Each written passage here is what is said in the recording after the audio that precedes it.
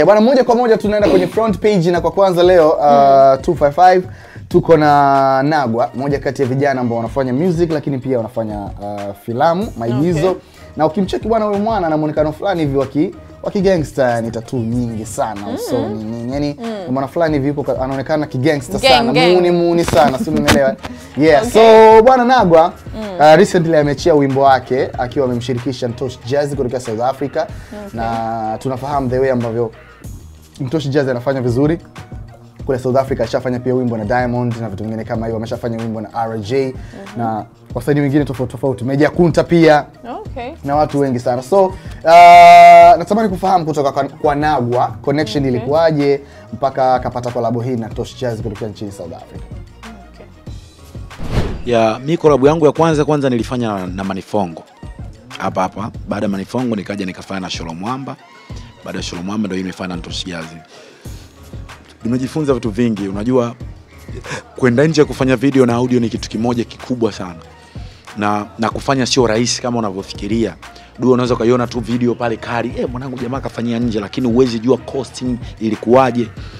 Kwa cha kwanza ndani tunajivunia kwa sababu ni nyumbani kwetu, lakini nje kidogo kuna utofauti, kwa sababu lazima upate zile connection za watu, na ukiangalia wewe ni mgeni katika ule mji, kwa hiyo inakukosti kutumia pesa nyingi zaidi ya kwa tulitumia hela nyingi sana kufanya video, lakini kinyumbani sio sana, kwa sababu najua tunajua hapa location, mtu akienda pale kuomba, najua sisi tuna loan nzuri sana ya tofauti na nchi nyingine baadhi ambazo tuko nazo.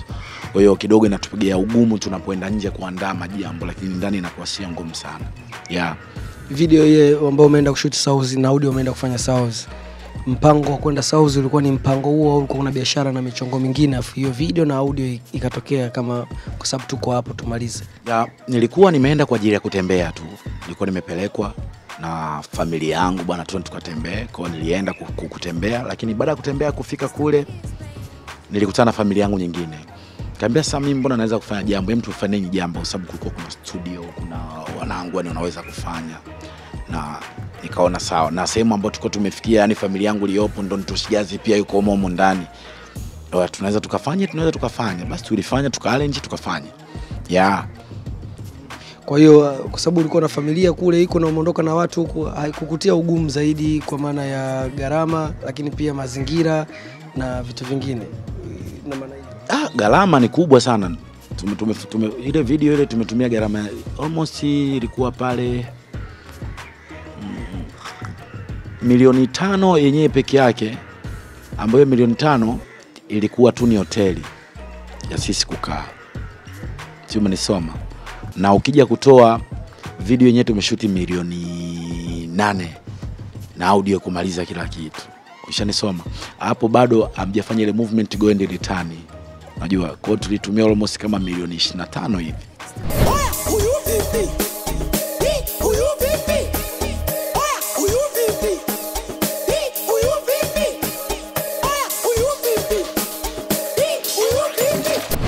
Pia bwana uh, kama ambavyo nimekuambia kuhusiana na mwonekano wa Nagwa ni mtu mm. fulani hivi anaonekana gangster, uh, tattoos nyingi nini na vitu vingine Okay. kama hivyo. Na tunafahamu kibongobongo ukiwa unavaa uhusika wa uh, karakta fulani, uhusika fulani kwenye kuigiza sometimes watu wanakuwa wanakuchukulia kama vile ndo Ndo kweli yako ndo maisha yako halisi, tumeelewa. Tumeshaona hiyo kwa Dude, uhusika wake wa utapeli. Tumeshaona hiyo kwa Kitale, tumeshaona hiyo kwa Bisi Kitu, uhusika wake kuonekana kama vile uh, mchawi, umeelewa eh? Watu wengi tu una roho mbaya. na vitu vingine kama hivyo. So kwa upande wake yeye, uhusika wake wa uhuni, mm. uhusika wake wa gangster, watu wanaochukuliaje mtaani? Comments okay. ni zipi anapokuwa mtaani katika maisha yake halisi? mm. Watu wanamchukuliaje? Yeah. Okay. Cha kwanza director anapokuwa ameandaa sini yake kichwani, huwa anamwangalia mtu ambaye anaweza kafiti katika ile sehemu. Kwa kwanza sisi tunasema ni nguvu ya Mungu pia. Mimi ukiniona na shuti na grupu ya watoto wamejaa kama hamsini hivi mia wako nyuma yangu. Kwa wale wananipenda ni licha kwamba mimi ninavyoigiza msela muuni kwamba wao wanapenda ile character ambayo mimi na- na- na- nayo. Kwa ni kitu ambacho hiyo ni karama kwa sababu kuna wengine hawana na tunaona watu wengi sana wanashuti. Kwa hiyo kwanza pia nilivyojitengeneza na, na, na jinsi madirekta wanavyoona, kwa sababu mimi nacheza sini yoyote, ukinitoa tu kwenye ule usela na uwezo wa kuperform kwenye sini yoyote, na mtu ukiangalia unasema yes, huyu jamaa kweli ana perform. Kwa hiyo haijawahi kunipotezea mashabiki haijawahi kunipunguzia chochote zaidi ya kunipa nguvu kwa sababu ni, kila ninachokifanya still kinaenda mtaani. Watu wanaki, wanakipenda wanakiappreciate so hiyo sidhani kama itakuja kutokea Tingomanago, labda watu wanaweza wakamchukia kutokana na mazingira hayo, hapana. Ila watu wengi wananiogopa na komenti nyingi wanaamini mi ndo nilivyo, kwamba maisha yangu ya kwenye movie ndio maisha yangu halisia. Kumbe ni kitu ambacho nothing, kwa sababu ile ni kazi. Tunapokuwa kazini lazima tuwe serious na kazi yeah.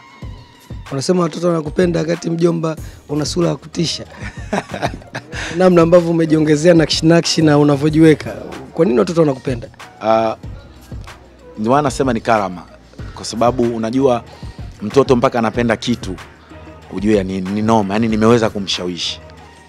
Unajivunia na unaendelea kujichora tatu na unajipenda hivyo ulivyo au kuna wakati ulisema "Ah, bwana mimi ningekuwa handsome boy mtu fulani hivi mlamba lips ingekuwa unyama zaidi. Au wewe unaona ni shege tu Sasa mimi kwa maisha yangu du rafiki yangu sasa hivi nianze kujilambalamba mdomo kichangu, si ndo la hiyo akiniangalia tuna ubi bibi harusi nini anajilembalemba. Eh, kwa hiyo mimi napenda hiyo muonekano wangu.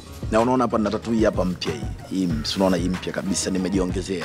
Hii hapa mpya kabisa hii unaiona mzee wangu. unaona inajua ina ndege tia yani ni mpya Kwa ni bado na mimi unajua mimi sitaki kujifananisha na, na, na, na karakta ya kitanzania lazima nina karakta ya nje na ndio maana uki, ukitaka kufanya movie na mimi utapenda karakta yangu sababu nina vitu vingi. Watu wengi mtu anacheza tu adui lakini ukimwangalia ni mzuri tu kafanana na dada yake nyumbani due rafiki yangu. Sasa unafanyaje? Lakini ukitaka karakta ya mtu ambaye unaona kabisa huyo hapa huyu anafaa nikimweka hapa. Yani licha tu yani muonekano wangu tu unajua kwamba mimi ni nani. Sio mpaka nikwambie. Yeah. lakini pia ukitaka nifanye za mapenzi naweza kucheza sini za mapenzi. Kuna watu kibao sasa hivi wanafanya makeup wanaweza kutoa tatuna kuonekana tu mzuri. Sasa kwa nini niogope? Yeah. Yaani ukiachana tuna ule uhusika wake kwenye kwenye kwenye, kwenye filamu. Huyu mwana bwana ukikutana naye yani unaona kabisa da bwana mbona kama ni mita, mita tano mbali. Mbona kama naweza Eh, nikakabwa mbona sasa kama- hivi kama- Mbona kama naweza nikakabwa nini na vitu vingine kama hivyo. Okay. Kwenye upande wa kifamilia sasa anachukuliwa vipi eh? Wakwe, si unajua zile eh, ndugu jamaa na marafiki wajomba kina shangazi Tunaweza mama mkubwa nani pale eh, mama mkubwa nani pale vipi anamchukuliaje eh, ukweni anapita ukweni amepita anafaa na ule mwonekano matatu mpaka kwenye uso. Jamani. mimi na familia jua mimi na watoto wawili. Eh, kwa hiyo kuhusu na umri gani? Wana- wanangu mwanangu wa kwanza na miaka sita huyu wa pili ana miaka anaenda miaka minne. Wote mama mmoja ama? Wote mama mmoja alafu wote wa kike. Wote unaishi nao nyumbani ama? Unaishi nao nyumbani. Wako pale pika pakua. Mm, ya. kwa hiyo wao kwa ujumla familia yako nyumbani mnampo kama watu wangapi? Um, niko mimi tuko kama watu sita hivi. Iko vizuri hiyo wako hawajawahi kupataga shida. Hajawahi wananipenda sana. Eh, yani niseme unajua ubaya wa hizi mambo labda ningekuwa msela muuni yani ile chakalamu kulikuwa kuna shida. Hata wao wazazi wangesema sasa umetuletea mwanaume design gani? Lakini ukiniangalia ni mpambanaji yuko kwenye mishemishe zangu napambana na ugali wangu. Si unajua eh, kopesha wala au za ule walikuwa wanazungumza watu kuhusu kansa na magonjwa mengine ambayo yanatokana na vifaa au vitu ambavyo watu wanatumia ikiwepo meno pete reni cheni. Unawezaje kuepuka maradhi baadaye kuathirika kwa madini au meno uliokuwa nayo? Ah, meno hatuyavai kila siku, hatuyavai kila siku. Kwao niseme kwamba ni wakati wa Mungu. Tupo duniani kwa sababu, ukielewa imani yangu na kauli yangu utanielewa vizuri sana. Tupo duniani kwa sababu. point yangu ni kwamba wanadai vikiwa feki vina madhara zaidi No, mi sina feki bro, si feki mimi. Hii sio feki, hii ni nini hii grills yenyewe master hii hatari mzee, platinum nulia wapi South Africa. ina uzito gani hiyo Um, hatukuipima lakini tu- kwa sababu tunanua kila jino moja tuna tunanunua si umenisoma yeah. kwa haya yote yani nilinunua milioni tatu yeah. una milioni tatu mdomoni Yeah. mm. sio feki bro eh, hii ni yenyewe kabisa king yeah. kwa hiyo hivi sizeni kama eti naweza nikapata kansa kansa kasema nani sababu yenyewe unaenda unapima mi wamenipima wazungu yani so mtu tu from nowhere amekuja amesema mwanangu hapa tubandike. Zipo feki lakini mi ya kwangu ni og juu umenisoma mtaalamu? Ya feki zipo lakini ya kwangu ni og yeah. vipimo vikapimwa. Vipimo vikapimwa na tukwenda siku hiyo. Baada ya kupimwa tulikaa one week wakati wanatengeneza. Kwa next week si tukaenda tulivyoenda tukapewa mimi. Mimi ni washauri, kikubwa ni kupambana. Vijana wenzangu tunapambana kutafu, kutafuta vitu kama hivi, so still ni kujipanga tu, vinawezekana. Milioni tatu sio la nyingi sana due E, kulikoni kwenda kujitafutia matatizo ya mdomo, mdomo umepata kansa, haya ndo na mchumba wako unampigaje busu?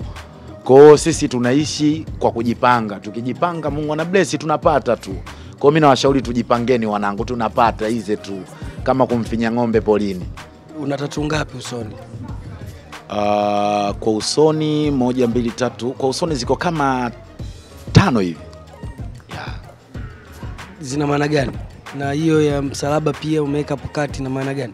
Mi ni Mkristo cha kwanza, kwa hiyo kwanza naheshimu dini yangu, kwa ndo tatu yangu ya kwanza kuichora.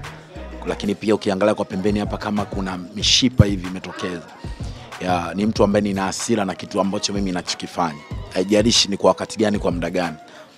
Lakini pia na tatua love you mom, unajua kabisa hapa inamaanisha nini.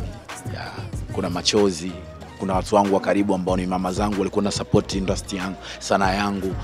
Hiyo yani walikuwa na support kila kitu ambacho mimi nachokifanya lakini mungu aliwatanguliza mbele za haki. Kwa hiyo nimeandika kama vile ushahidi kwamba bado nawakumbuka kwenye machozi yangu kwao na bado nitalipa kile ambacho wao walikuwa nakiamini kwangu. Yeah. mpango wa kuongeza tatuu kwenye mwili ukiacha sehemu nyingine usoni mpango huo upo au zimeshakamilika? Ah, mi bado sijamaliza. Bado yani mpaka nifikie level yangu. Yaani sehemu nitakaposema hapa nimefika nitachola. Nimechukua hiyo refresh Wasafi TV Due Santana follow Instagram Daiso Stores maduka ya nguo. Umeona bwana? Esma madangote mwaka umeisha. Vitambaa vinapatikana hapo hata mwakani pia